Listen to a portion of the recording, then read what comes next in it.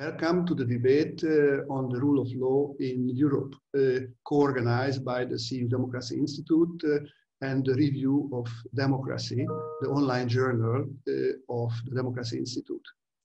Uh, the CEU Democracy Institute was uh, created last year after the, all the teaching programs of the Central European University were forced out of Hungary Uh, the Democracy Institute does uh, research on processes of uh, uh redemocratization or de-democratization.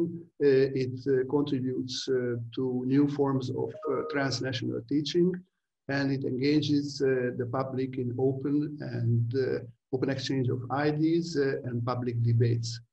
Our debate today on the rule of law in Europe uh, is the second one in our series that started uh, last year in November uh, on uh, a debate uh, about uh, democracy in the United States. today we have two speakers, Didier Reynders, European Commissioner for Justice, responsible among others for preventing and identifying breaches of the rule of law and enforcing uh, uh, EU rules uh, in this field. our second speaker is Katalin Cseh, Hungarian member of the European Parliament and Vice President of Renew Europe. Uh, the moderator is Laurent Pech, uh, professor of European law uh, and head of law and politics department at Middlesex University. The debate will last uh, around 45, uh, 50 minutes. Uh, it will be followed by Q&A. please send your comments or questions via the Facebook and they will be transferred to the moderator. That's all. Uh, I give the floor uh, first uh, to the moderator, Laurent. The floor is yours.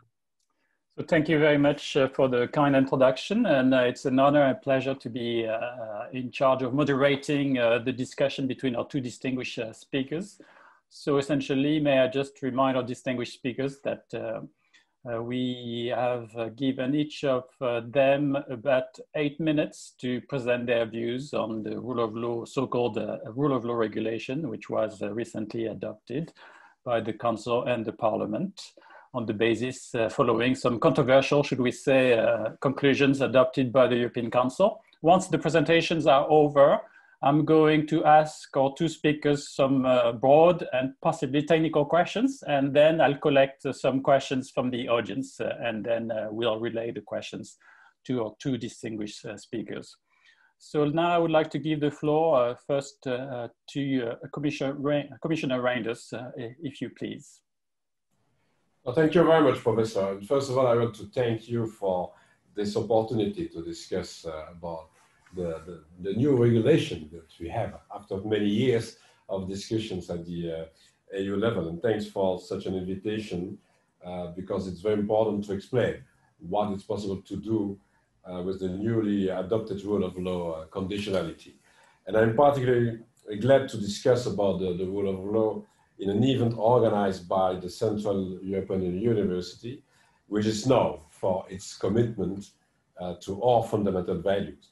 And let me start by underlying that the rule of law, like democracy and fundamental rights, is one of the values on which um, our union is founded.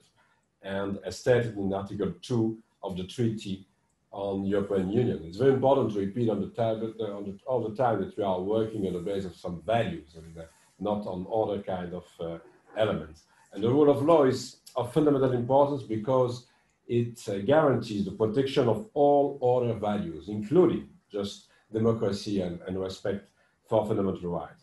Moreover, the rule of law plays a crucial role for the functioning of the uh, European Union. It is essential for mutual trust which enables effective judicial cooperation in civil and criminal matters between uh, uh, member states. But the rule of law is also uh, important for the effective functioning of our internal market and for the business and investment friendly environment.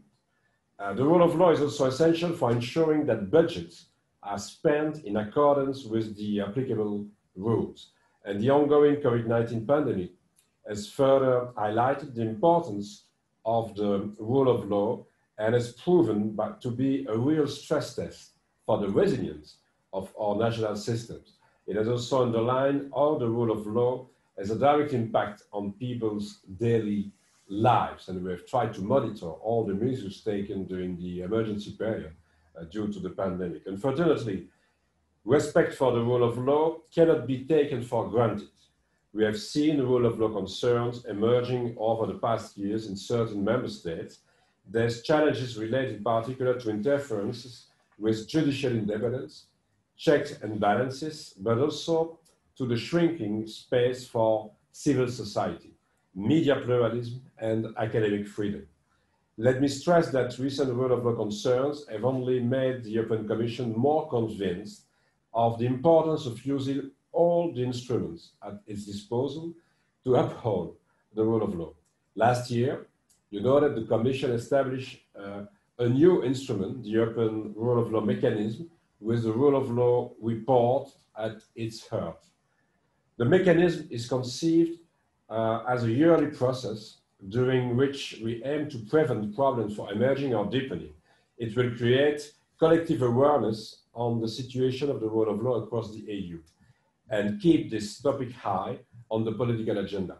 It will stimulate a permanent discussion on the rule of law year after year. The goal is to organize a real uh, um, culture of the rule of law in all the member states in discussion, not only with the government, but with the parliament, the opposition, and the civil society. And let me now come to the topic of today's discussion to help repair the economic and social damage caused by the coronavirus pandemic. The European Commission, the European Parliament, and the EU leaders have agreed on a recovery plan that will lead uh, the way out of the crisis and lay the foundations of our for a modern and more sustainable Europe. The EU's long-term budget coupled with Next Generation EU, the temporary instrument designed to boost the recovery, will be the largest stimulus uh, package ever. Uh, and uh, it will be the first time that we finance uh, such a very large package through the EU budget. A total of 1.3 trillion will help rebuild, rebuild a post-COVID-19 Europe. It will be a greener, more digital and more, and more resilient Europe. the Council decision of 17 December, on 17 December was the final step in the adoption of the EU's next term budget. Following this decision, the multi-annual financial framework for 21-27 uh, of 1.074 trillion uh, in 2018 prices uh, becomes available for all beneficiaries of EU funding. At the same time, work towards finalizing Next Generation EU continues. As you know, part of this package includes a so-called rule of law conditionality, the regulation on a general regime of conditionality for the protection of the union budget. This is an important new instrument to protect the EU budget. The reasoning behind this regulation is simple. In order to control the use of EU funds and to protect the financial interests of the EU against corruption and fraud, we need independent justice systems, effective investigation and prosecution services, and an effective functioning of public authorities implementing the union budget. Thanks to the newly adopted regulation, the Commission may propose to the Council to adopt measures to address breaches of the rule of law principles that affect the financial interests of the Union. The measures intend to protect the financial interests of the Union and include, for instance, suspension and termination of payments as well as financial corrections.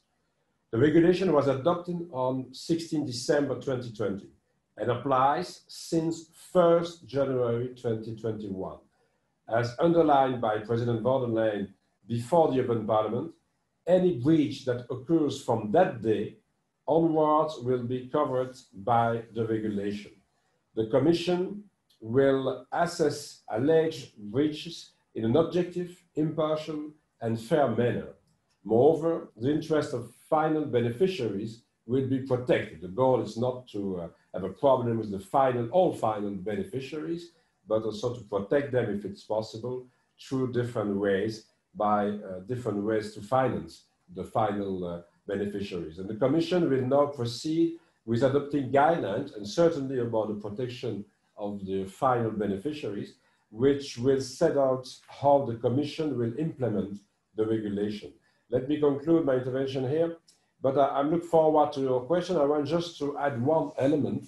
Uh, in fact, we have two ways now, two new ways to protect the EU budget. I have insisted on the regulation on the conditionality is one way to protect, protect EU budget against some possible breach to the rule of law.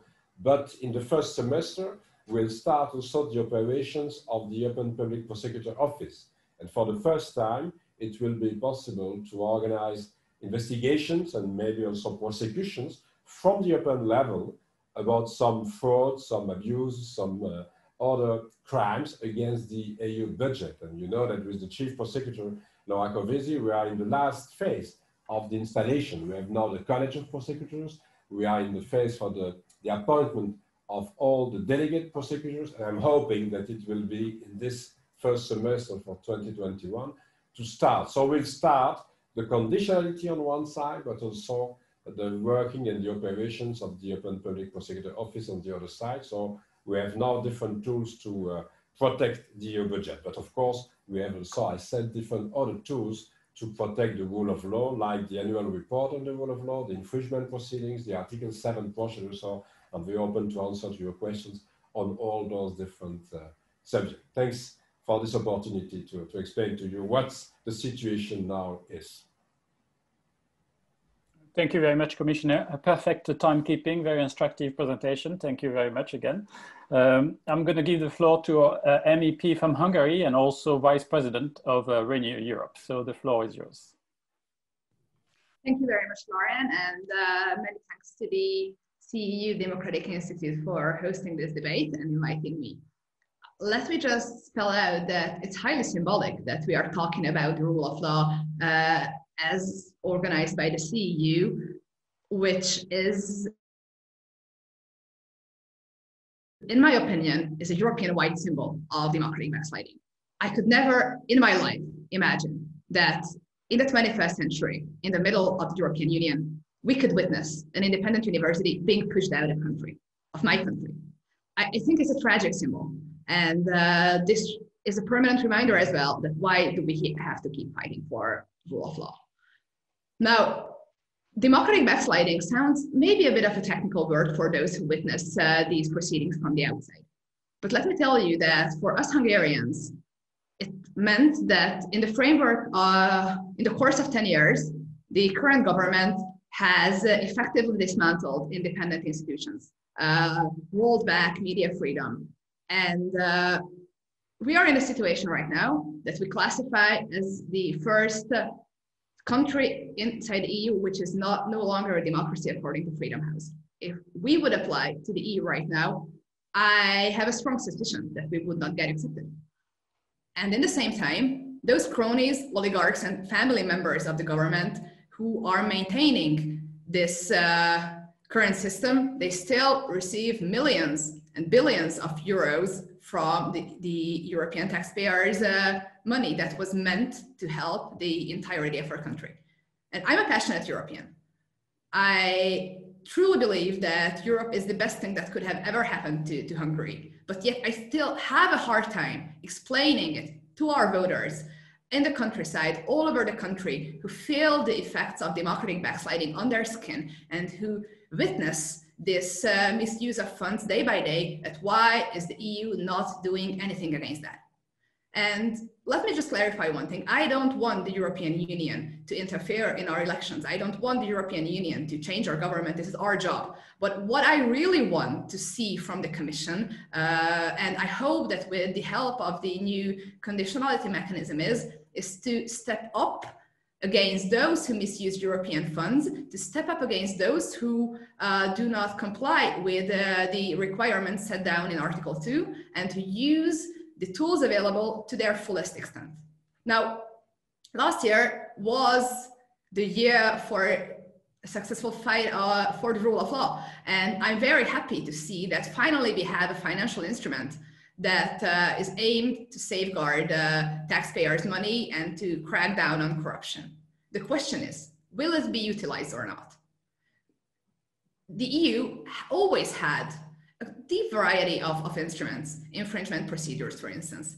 Uh, or uh, there was also a possibility to freeze uh, money for LGBTQ-free towns in Poland. This instrument existed for many, many years back. And, and yet I always feel that there was uh, quite a bit of a timidness in uh, the way these mechanisms were utilized. Uh, I think the CEU case is a very good example. The court ruling on the CEU arrived last year when the CEU already have taken up their headquarters in Vienna. So, so the question is, uh, if the, the existence of these mechanisms could be justified uh, or, or, or these only exist on paper, are they is it possible to utilize them better to, safeguard European values? And let me just stress that this is not only a Hungarian problem or not only a Polish problem per se. Uh, this is a pr problem of systematic democratic backsliding that's happening within the European Union under the watch of the Council and Commission. If we just take a long, hard look at Bulgaria or Slovenia, for instance, I uh, think we will always find concerning problems there as well.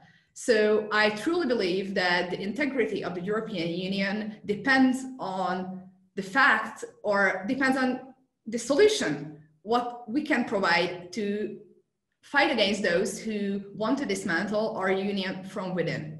The Trojan horses that fight against our values within our framework and while they still receive funds to finance their own corrupted means we also also see that this drives Euroscepticism all over the continent. And uh, I, I, very often receive emails from taxpayers from Denmark, from Finland, who pay high taxes. And a part of these high taxes come go to the European budget. And, and they very often ask me that they read about the corruption happening in Hungary in their own papers, and they ask themselves the question that why do they still keep on financing that?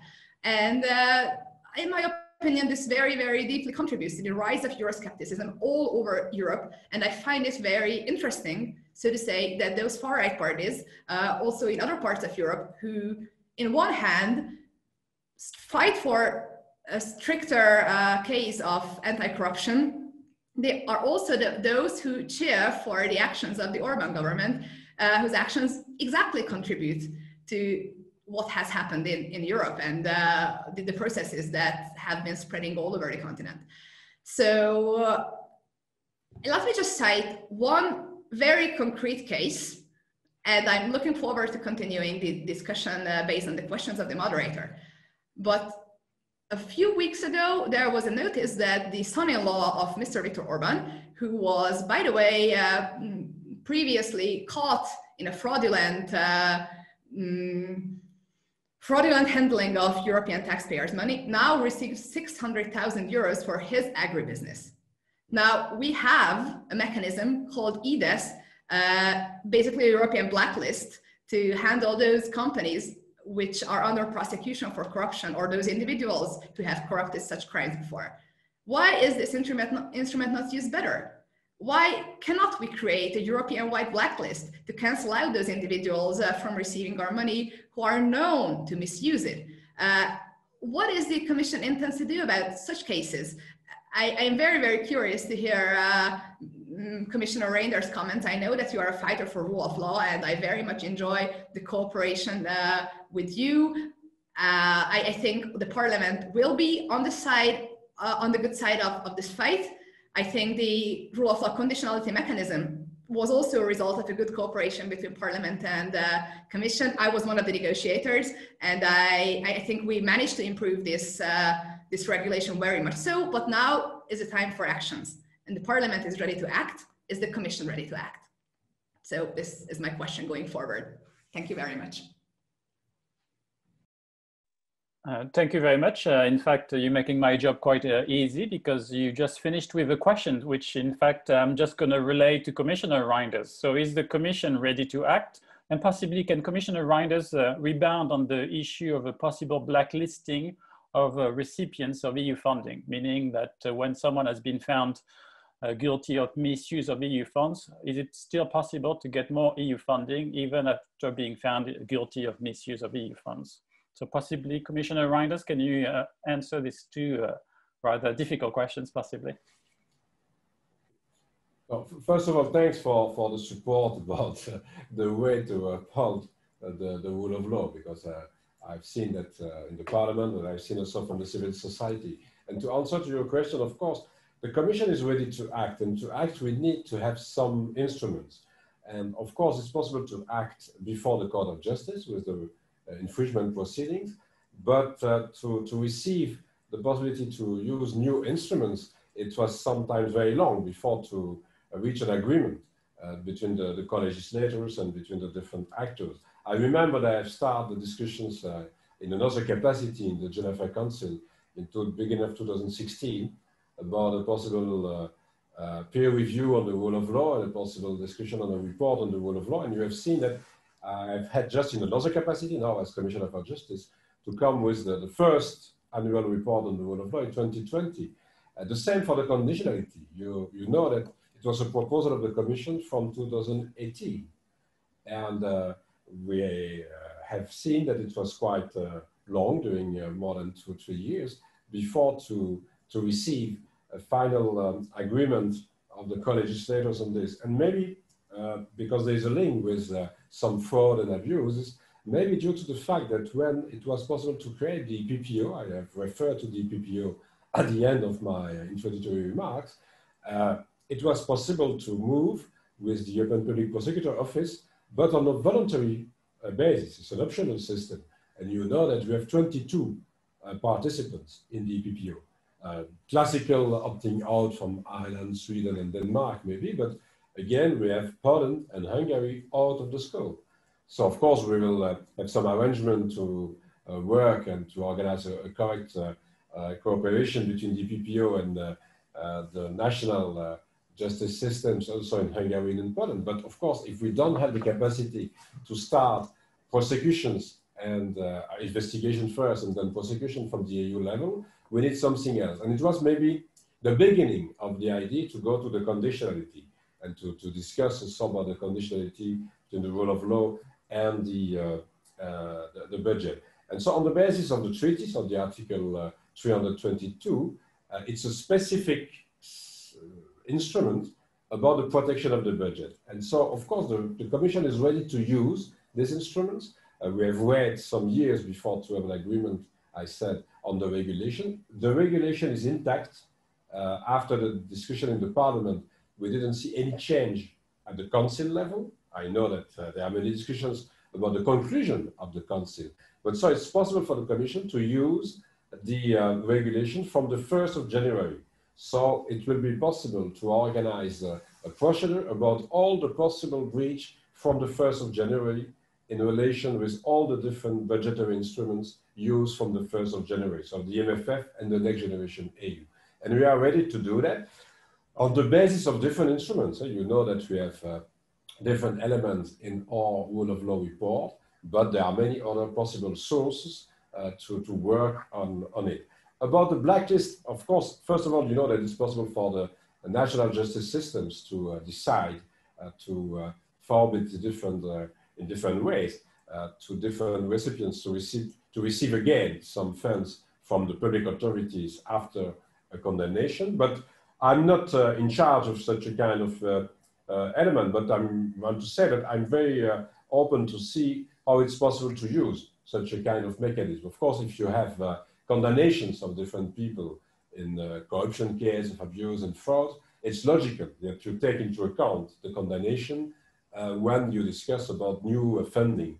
And so it must be maybe uh, possible for Olaf and maybe in the 22 member states for DPPO to take initiatives on that. But uh, I will uh, again discuss maybe with my colleague in charge for the budget to, to see what is possible to, to apply on the basis of such a, kind of practice. But it's logical that if you have a condemnation for such a kind of crimes like corruption cases, that you have an indication about the, the way to uh, limit the funding uh, later. But again, uh, the, the use of the new regulation, it's possible for the 1st of January. It's the regulation.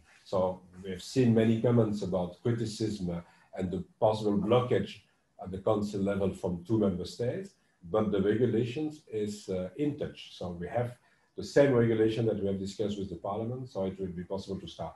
The only one uh, difference with the real uh, first proposal of the commission is the majority, but you know that to come from the unanimity to the qualified majority is a huge step. Of course, I have said also to the parliament, and my preference was to have a reverse qualified majority, like we have in other fields about the uh, European semester and the recommendation in relation with the European semester. But at the end, for the co-legislator, it was possible to move till the qualified majority, no more. We'll see in the future. Maybe in the future it will be possible to, to go further. But again, it's possible to use from the 1st of January. Uh, thank you very much. Um, I'm, I'm going to have a question for the two of you, but starting with Katalin about the rule of law regulation, a more kind of a broader political question. Um, can we expect uh, the rule of law regulation to be a game changer? It has been described by some uh, key actors as a game changer when it comes to democratic and rule of law backsliding. I'd be interested in hearing uh, your views. So can he uh, change the, the, the process of democratic backsliding you have described, Katalin, or Possibly, on the contrary, are we going to end up, as he has been said also by some experts, that we're going to end up possibly with another Article 7 uh, process, which is not going to lead anywhere. So Katalin, the floor is yours. Thank you. Well, I think this is the question uh, that will be answered uh, in the coming months and years. If it is only another piece of paper, another piece of legal text that scholars can study and people can write dissertations about, then it won't change anything. And this is why I focus my first intervention on the need for the commission to act, for the need for the uh, political willpower to change things.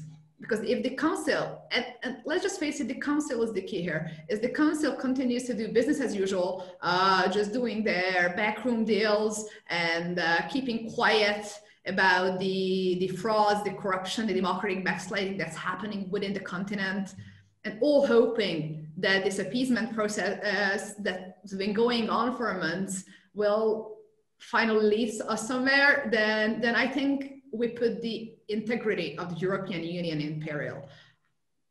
I cannot imagine that after what has happened at the end of last year, when the entire European recovery was put in danger by uh, two leaders representing countries heavily in the process of democratic backsliding, uh, after the veto of the Polish and Hungarian government or veto threat, uh, there is still somebody in the council who believes that appeasement with wannabe autocrats is, is a strategy that's working.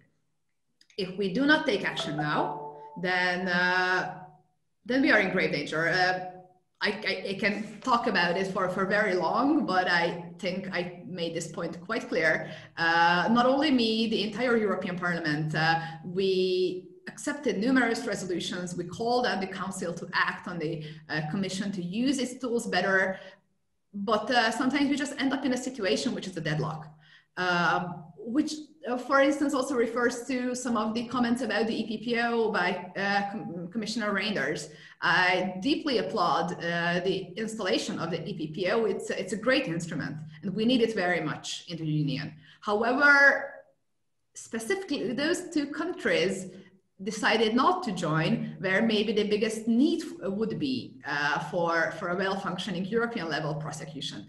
So I, I'm wondering whether uh, is this something that we accept in the EU or maybe we think about ways uh, where we could control the flow of European taxpayers' money better. Uh, for instance, we have Olaf, and I, I, heard the commissioner touching upon that briefly. But uh, maybe there could be a possibility that Olaf receives uh, more funding or more personnel which could concentrate specifically on those countries which are not under the jurisdiction, of the EPPO. Because of course we can wait for the Hungarian high prosecutor, who is a former member of Fidesz, to condemn the son-in-law of Mr. Orban or to cancel him out of uh, applying for funds. But I, I don't know, I have this slight suspicion that it would not lead uh, us too far. Um, also about uh, certain dynamics between council and commission, I, I, find it deeply frustrating and also very challenging for, for the future of the EU. Uh, and I would be very grateful if the uh, commissioner could share his views on the fact that basically in the council declaration, the council instructed the commission to do something, to wait. And I'm not a legal scholar, uh, Mr. Pech is, but in my understanding, uh, based on the treaties, it is not in the powers of the council to instruct the commission. Uh, and I still have a hard time explaining it to myself. How did it happen? Apart from the fact that uh, certain council members wanted to struck a deal and they wanted uh, to keep on with the appeasement of uh, Mr. Orban and, uh, and the PiS party in, in, in Poland. Like what else could be the explanation and how is that even feasible legally? So to conclude, I think we have the instruments to change the game.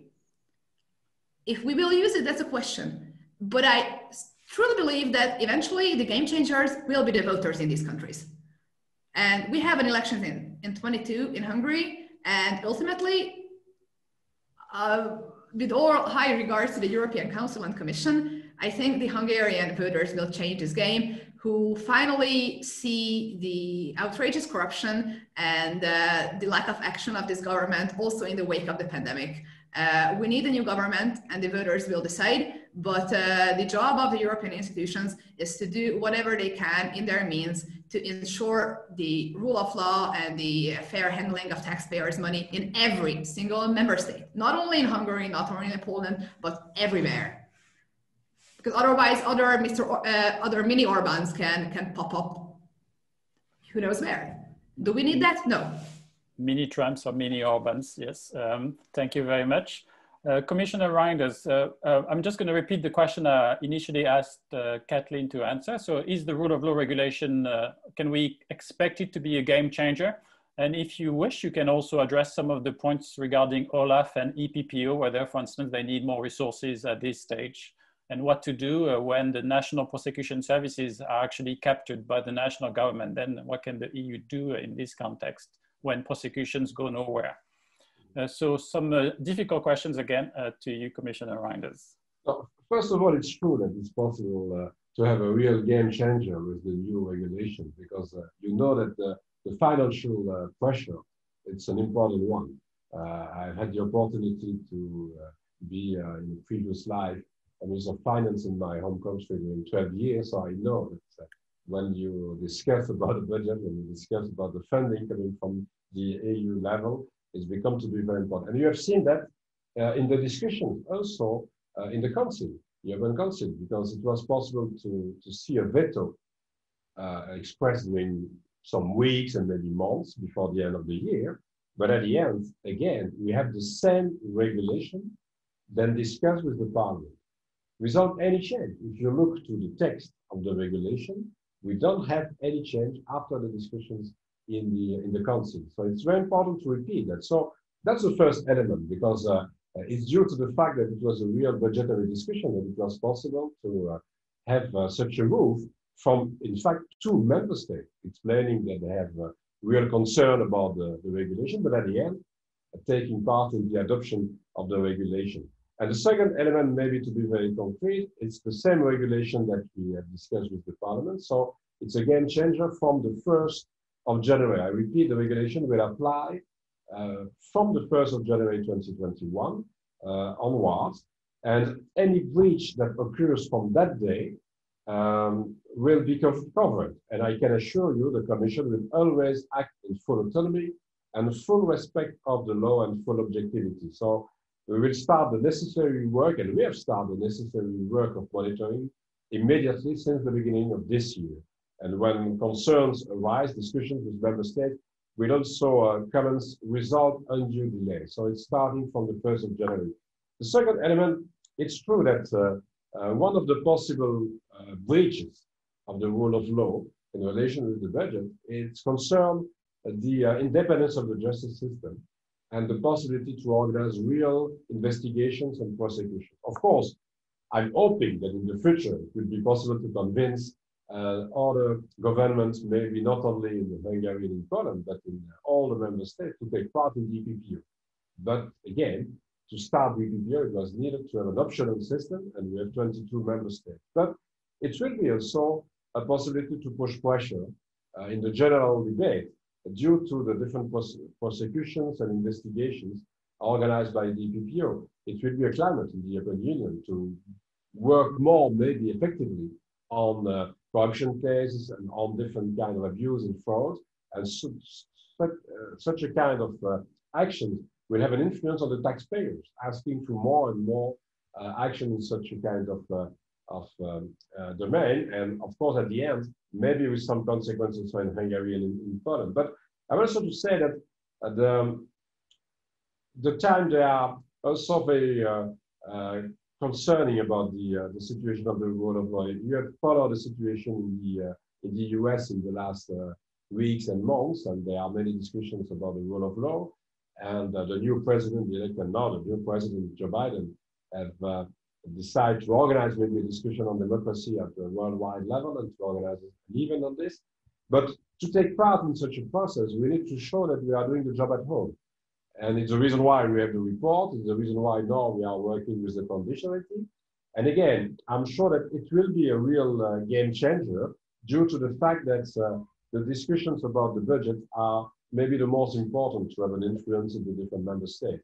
And uh, we, we are starting since the beginning of this year with the process of uh, the uh, scrutiny about the, the, situation in all the member states.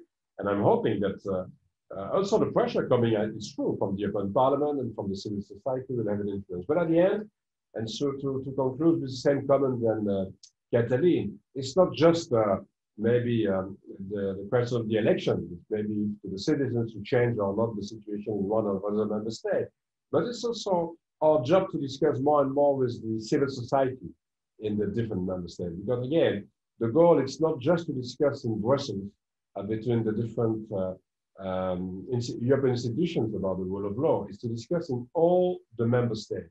And it's the reason why, on the basis of the report on the rule of law, I've started a real tour of the uh, national parliament to discuss with the majority, but also with the opposition about the rule of law in the country. And I'm very open to do the same with the civil societies in the different member states. Because again, without a real change in all the member states, it will be difficult. And my last comment is to say that when we are looking to the report on the rule of law and maybe with to other instruments, the most important element is that we have concerns about the rule of law in all the member states.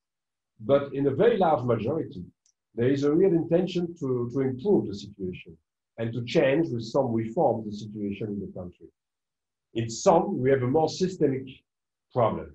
And uh, to be concrete, when we discuss with Poland, to don't speak all the time about the same uh, member state, but when we discuss with Poland about the independence of the judiciary, we have a real difficulty because we have seen in different occasions that it was needed to go to the court and will continue to go to the court of justice against different decisions in Poland. So it's more a systemic issue. We are in discussion about the independence of the justice system since some years in such a kind of country. And that's the real difference. So I'm hoping that the conditionality will have a huge influence uh, to, to try to push pressure on the authorities, but maybe on the different societies to, to change the, the way to discuss and to install the rule of law in all the, the different member states. Uh, thank you very much. Uh, since you mentioned uh, Commissioner Reynders' uh, compliance with the rulings of the Court of Justice, that's going to be my next uh, question essentially uh, two questions into one, if you don't mind. Uh, and we, uh, I'll give the floor to Katalin to answer uh, this question or one of the two questions. So essentially, my first question is, can we expect the rule of law regulation to help the Commission address non-compliance with judgments of the Court of Justice, or should it be done on the basis of other mechanisms? I'm thinking here in the case of Hungary uh, uh, with non-compliance with the Lex NGO judgment of the Court of Justice uh, issued in June uh, last year. And essentially, uh, my question to Katalin perhaps would be more of a political question. I mean, unless you want to answer this rather technical question. Uh, in your view, does the Commission do enough when it comes to examples of non-compliance with judgments of the Court of Justice by Hungarian authorities? I'm thinking about the judgment, therefore, regarding the foreign funded NGOs of last year, the judgment regarding the Central European University uh, also last year, and more recently, uh, the judgment of the Court of Justice regarding uh, uh, immigration and asylum uh, law. So essentially, my question, it's a, two questions into one. Can we expect the rule of law regulation to be helpful when it comes to compliance with ECJ rulings? And if not, uh, what can we do essentially to increase compliance and sanction national governments which do not comply promptly with judgments of the Court of Justice? So Katalin, of course, we are paying. We are perhaps paying Commissioner, Commissioner Reynders, I'm going to give the floor to Katalin and then uh, back to you. Okay, fine. Thank you. Katalin? Well, I would have preferred uh, hearing also the commissioner's answer okay. because, of course, I do expect. Uh, but uh, I have questions. So I am waiting for a reassuring uh, answer first from the commissioner, and then I may add some political comments later. Because what we see now, that there are some rulings, and they are never complied with, not even after years. And uh, I mean, it raises questions about the credibility of these instruments or or the weight of these rulings if a country can just uh, put it aside and, and not to do anything with it. I'm not sure whether the uh, rule of law conditionality is the instrument which takes care of uh, of these kind of problems. It necessarily or like regards cases around the budgetary compliance but of course, it also includes independence of judiciary. So there might be some sort of a overlap, but I do believe that we might need other instruments to address questions like this because it has to be addressed. Thank you very much. Uh, and uh, Commissioner Reynders, back to you with uh, more technical questions uh, regarding this time. Uh, I'd like uh, essentially the focus to be on compliance with judgments of the Court of Justice and whether essentially the rule of law regulation can help or can the Commission uh, act on other bases? Well, first of all, of course, we are paying attention to the uh, real uh, compliance with the different rulings. In many different cases, you know that there are many infringement proceedings, there are many rulings from the court. I know that you are focused on some, but we are working with all the member states about the necessity to uh, uh be in full compliance with the rulings of the uh, Court of Justice. And about the NGOs and about the education law, higher education law in, in Hungary. Uh, we are in discussion for the moment with the Hungarian government. So we have uh, sent letters, we have received responses, and we are analyzing now the situation. So we'll continue to do that like we are doing for with all the different member states. Uh, to be very concrete about uh, uh, the Hungarian higher education law, it's a ruling from October last year. So I know that I've said that in some other discussions, we don't have exactly the same timing than Twitter in the commission. So uh, it's possible to react the day after to ask to be in line with the ruling in some weeks. But you know that in all the member states, that takes some time before to come with a new regulation. So first of all, we discuss with the member states. or we ask if there is a real willingness to change the, the provisions to be in full compliance with the ruling. And then we verify if it's the case. So of course, if it's not, we are very open to use all the different tools at our disposal to, to react. And um, of course, it's possible to use maybe in the near future now the new regulation on the uh, conditionality, if of course there is a link between the non-compliance to some rulings uh, of the Court of Justice and the budgetary situation, because you know that uh, the new conditionality is about the EU budget, so it's impossible to say uh, we have a non-compliance with some uh, rulings uh, concerning fundamental rights to be very concrete, without any link with the budget, and then to use the conditionality. But it will be, of course, possible to use the conditionality mechanism if we have uh, a real uh, possibility to, to show that uh, the uh, link between the non-compliance with some rulings of the ECJ uh, and the budgetary situation. For the other instruments, of course, in some cases, it's very important to go back maybe to the court and to try to receive some other financial sanctions to the the different member states. You know that we have uh, organized some uh, uh, preliminary proceedings about that. If you remember about the situation of some judges in Poland, it was possible to go to the court and to ask also some decisions to to show that uh, it's needed for the different member states to comply with the ruling. So, no, we are in discussion now on the two uh, specific rulings that you have mentioned with Hungary. We are at the end of the process for the NGOs because we have sent a letter with these answers and now we will see if there is a real intention to change the regulation or not. If it's not, uh, we will continue to move and maybe to act. Thank you very much. Uh, Katalin, you want to rebound? If I'm, yes, Please. very, very briefly, if I may come back. Uh, so I was just thinking about uh, the rule of law report while the commissioner was speaking, and I, I, I, mean, I find it a very, very interesting tool, and I greatly enjoyed reading that. Uh, however, I do miss parts from this report, which might also serve as a remedy to the question that was raised, and which is basically timelines for correction and uh, possible sanctions if these corrections were not made. And there was an excellent report by my colleague Michal Šimečka uh, that was voted on the European Parliament with a very big majority, which uh, specifically includes provisions that uh, might further complement the rule of law reporting to make it also maybe a bit more practical. So I'm hoping to see the Commission taking up some of these considerations and uh, complement the report with uh, these kind of mechanisms that was proposed by my colleague Šimečka. Commissioner Reynders, you want to reply to this specific point? No, I said we, we try to continue to, to see if there's a real uh, intention first in the different member states to, to be in full compliance with the decision of the court. And then, of course, we need to verify if uh, this kind of intention is putting in a new uh, draft law or in some other provisions uh, to be sure that it's a reality. And of course, that takes some time. And I must say that uh, it's true that in different situations that we have seen, uh, again, in the last uh, months, it seems to be long between the decision of the court and then the real action to push pressure on one member state. But it's also the rule of law. I know that that takes some time before to have a decision in the Court of Justice. We have seen that. If I'm looking to the Hungarian higher education law, uh, concerning some universities. Uh, it was a, uh, a decision in the end of 2017 to act. Three years later, we received the decision of the court. But it's after a real debate and a real possibility, of course, for the Hungarian government to explain the situation and to uh, defend its position before the court. So I know that the process in justice and the process between the Commission and the member states seems all the time to be long in comparison with the situation on the ground. I fully understand. And it's the reason why I said when it's needed, we are going to, where there, where, where there are some individuals in question, uh, we are going to the court to ask for interim measures and to try to push more pressure on uh, one government.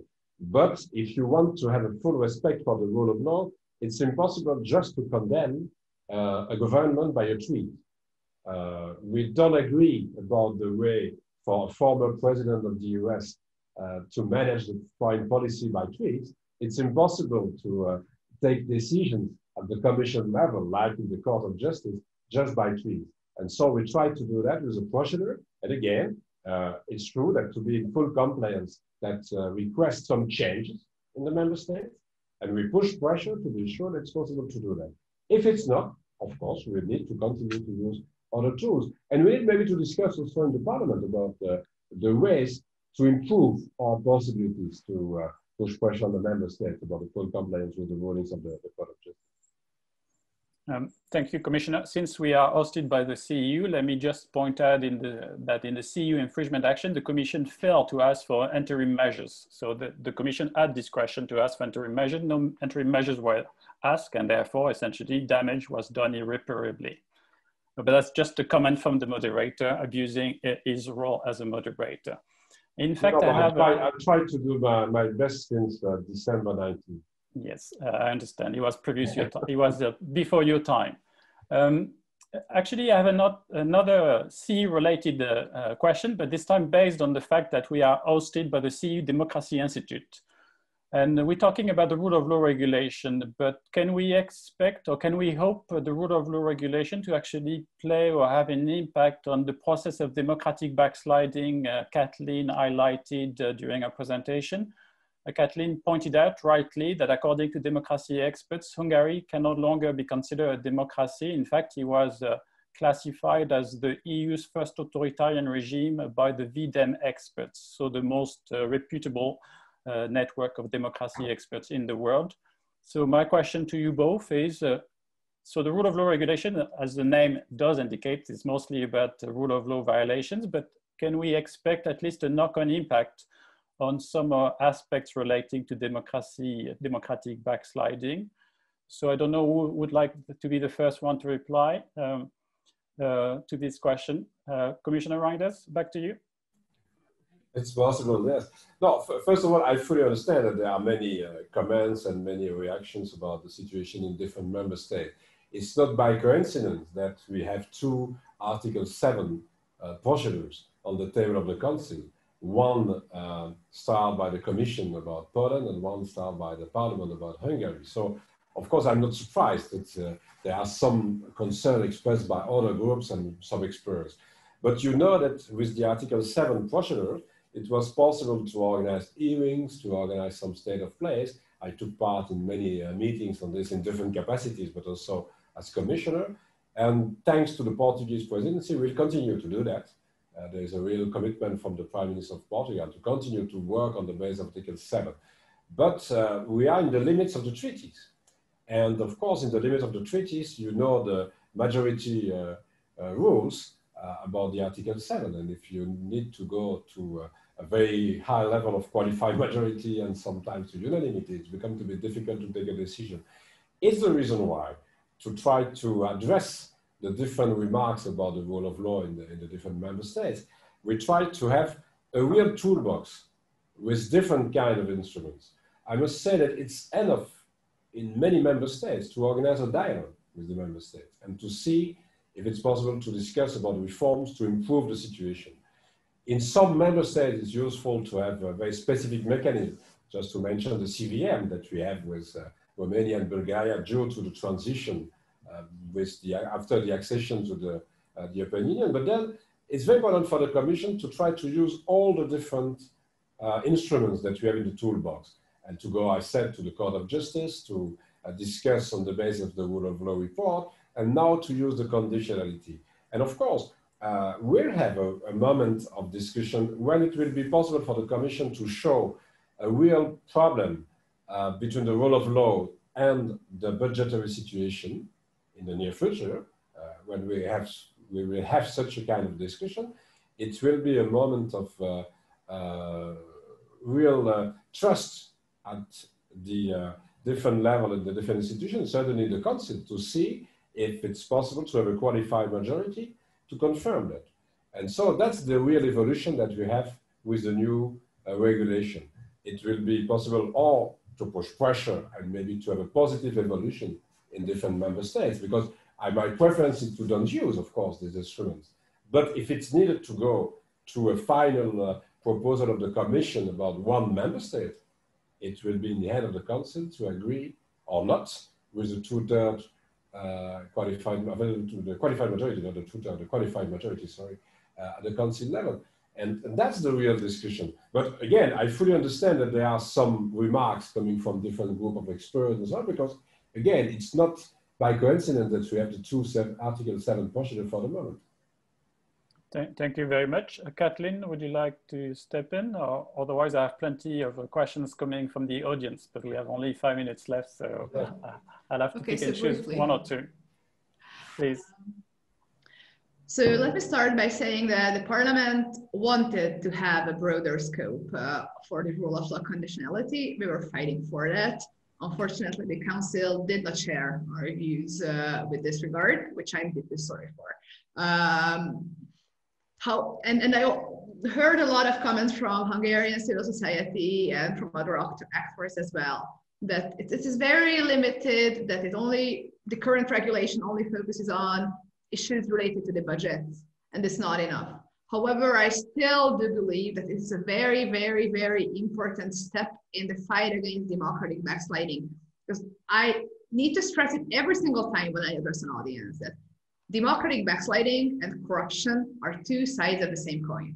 Uh, every authoritarian regime, every uh, government on the way of becoming one is uh, sustained by a network of corrupted oligarchs and cronies of a network of people uh, who are being paid off from uh, illicit financing uh, or financing administered in an illicit way. And unfortunately, in the case of European countries, these uh, funds very often come from European uh, taxpayers' pockets. These are those subsidies that were meant to belong to the poor people on the countryside, to the suffering small businesses, and in return, they end up in the pockets of cronies who sometimes purchase some media on behalf of uh, the government or uh, to push out uh, other businesses uh, from competition who might uh, appear to be in the way for uh, someone in power. So if we can cut this tie between the network of cronies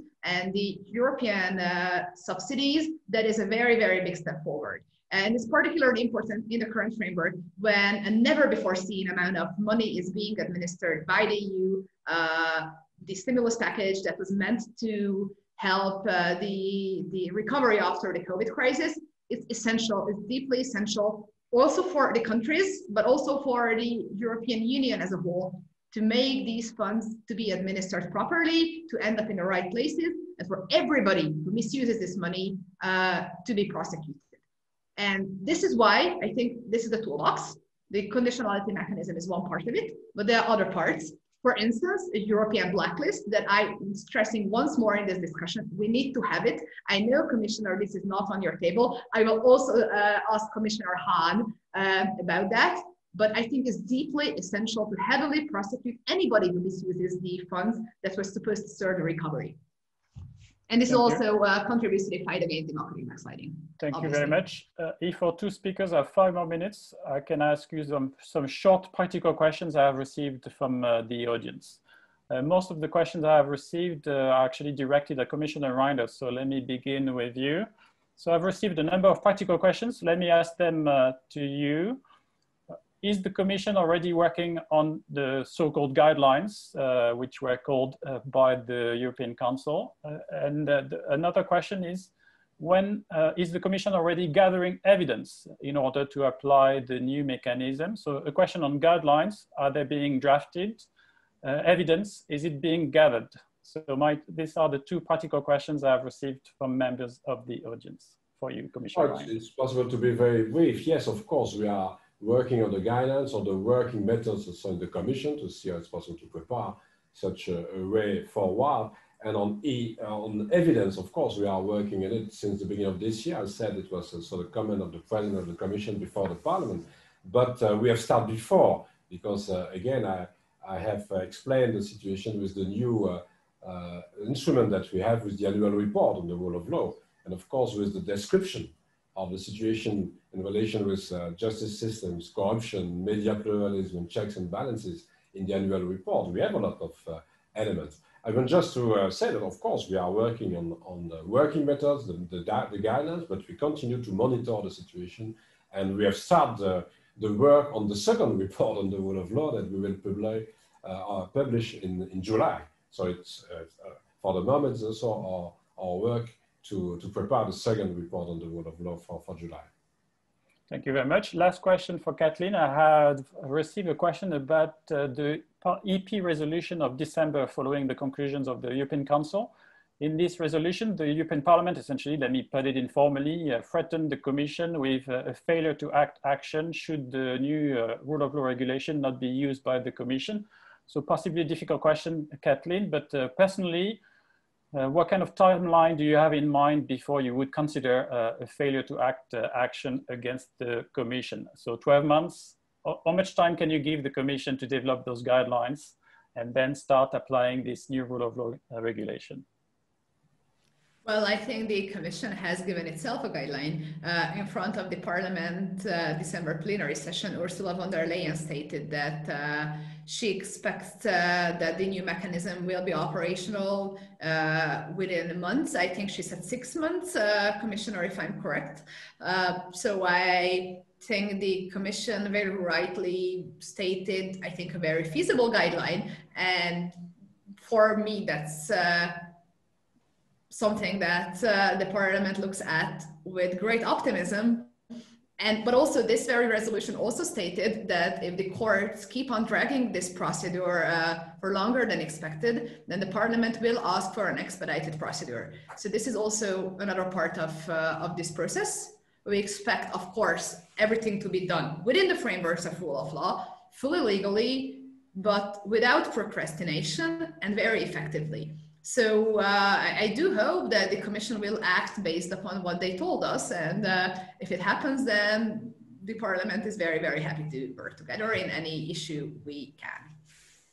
Uh, thank you very much to our two speakers for fully engaging uh, uh, with my questions, which were not always easy, but uh, I had so many more questions. Commissioner Reynders, final word, perhaps?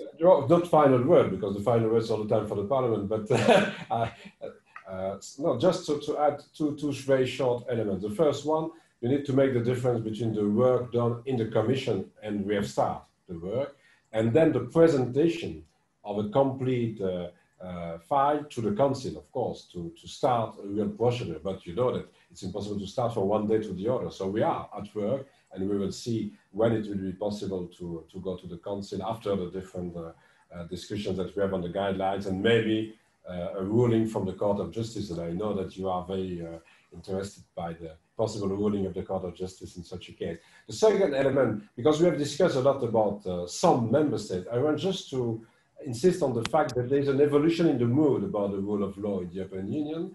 I've seen that with the report on the rule of law. I just want to, to say that since the publication of the report, the first report in September, we have received many proposals for reforms in many member states. Of course, I'm not naive.